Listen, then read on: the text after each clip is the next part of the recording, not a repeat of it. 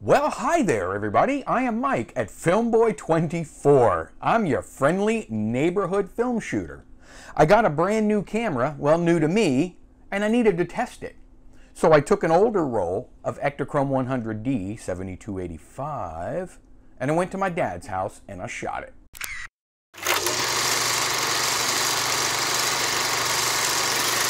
Yep, bought a brand new camera, and I can almost safely say that it is brand new. You know, I've owned hundreds of Super 8 cameras in the last 35 years, and I don't think I've ever owned one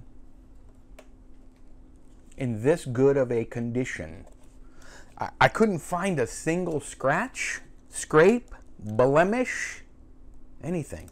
The only thing that I could tell was that the little sticker on the lens was peeled off, and then there's some glue residue that I've yet to clean off.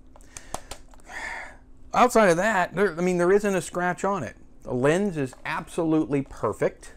It's a Canon Auto Zoom 814 electronic. Now, I have a Canon 814 Auto Zoom tucked away over there somewhere already. Didn't have an electronic, so I really wanted one, and the price was right. I do have a a 1014 auto zoom electronic that works great. I couldn't pass this up for 80 bucks.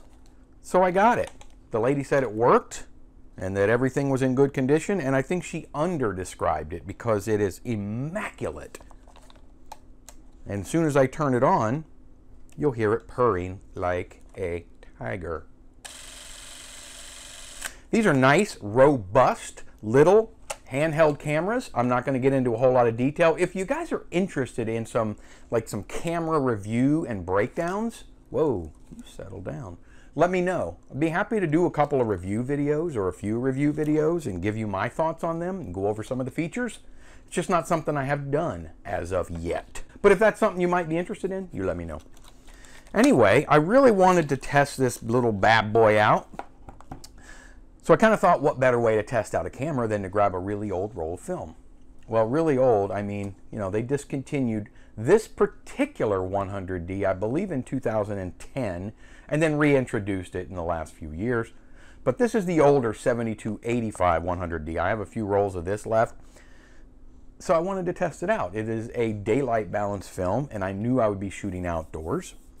Now this camera will accept and understand and expose properly 100 speed film. So I popped in the uh, little 85 filter canceller into the top, even though I know when you put this roll of daylight film into the camera, it will auto cancel the filter. I felt all warm and fuzzy by putting that in there. Besides, it's nice and red and pretty, and it kind of makes the camera look cool. Anyway, I uh, I set everything to auto because I wanted to test the metering on this camera as well. And what I noticed was everything may have been underexposed by half a stop-ish, which wasn't too bad for me because I can clean it up a little bit in post. So I loaded the camera with the film, packed it up, drove out with my two little girls to my father and stepmother's house. They live on a couple of acres and brought along my trusty monopod because you never really know when you need a semi-steady shot. And I focused mainly on sort of zoomed in or close subjects. I don't recommend and I don't do a lot of zooming while filming because to me it's just cheesy and it looks very home movie amateurish. But I do like zooming and leaving it that make any sense? So I did some, you know, the typical, some flowers, some goofy. I tried to find some things with some color in them. And I found that it, it, I don't know if this film looked better or worse than my previously shot roll of 7285, which if you haven't seen that video, check it out. I shot it on my Canon 1014 XLS, or one of them. Uh, and it came out pretty well.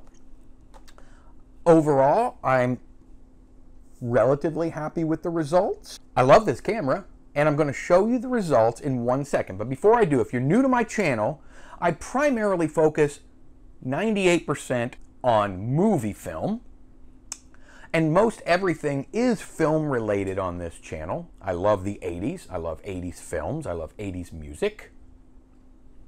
So if that's the kind of thing that you're interested in, stick around. I got a lot more coming. I like Super 8, 8 millimeter, and 16 millimeter movie film. I also shoot a lot of 35 millimeter and 120 format film, which I think I'm going to start segueing into a little bit more on this channel. So if you like still photography, that's coming soon. Soon. So without a lot more of this, let me quickly get right into my results.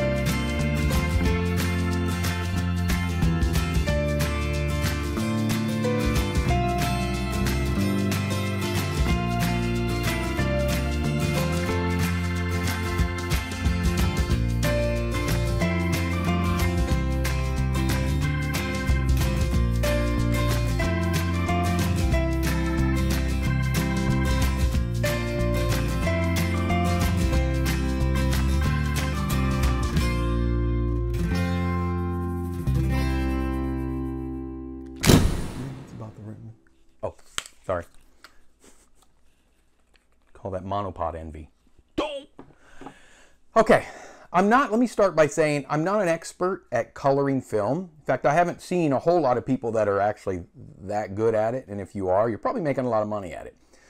I'm one of them that's not that great at it. I'm learning day in and day out how to adjust levels properly and color balance and color grade. Uh, it didn't turn out that bad. I didn't think. As you could probably see, it was a little tiny bit underexposed. The colors could use a little boost, but you know, again, there's the color grading and whatnot. Whenever you render a video like what you're watching right now, stop pointing, man, and you render it at 30 frames per second, and you shoot the film, which I did at 24 frames per second, that's the film. Yeah, here, label it. And then you render that timeline out as a finished product well, your film lines or your film frames sort of blend.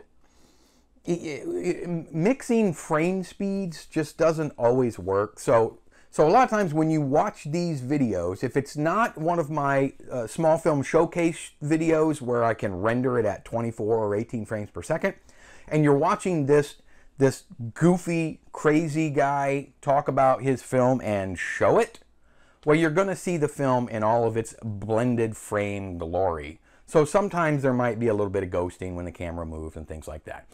Unfortunately, that's the nature of the beast when you combine frame rates and render. Anyway, I, again, I don't think it came out terrible. If you did, well, let me see yours. Okay.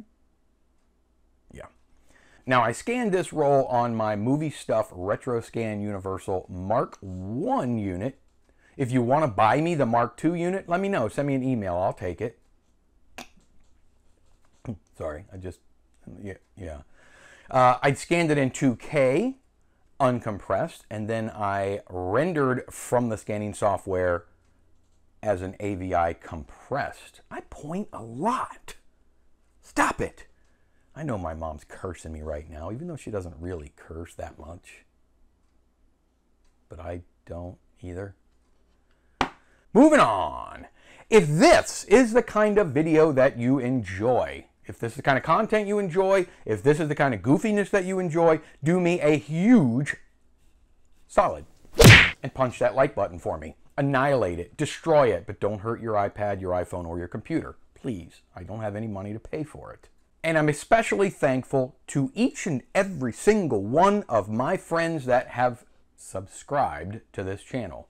Please subscribe, hit that bell notification, and then you're going to be aware of when I finally upgrade my Krasnogorsk 3 from regular 16 to Super 16. That's coming real soon. Got all the parts ready to go. Probably shoot one more roll at regular, upgrade to Super, and we'll go from there. Keep an eye out. Those are coming soon. Stop. So do me a favor and subscribe. Leave me a comment. Tell me what you think of my footage. Let me know what your YouTube channel is. I'd like to come and check your content out as well. And until the very next time that you and I meet again, I'll see you on the next go around.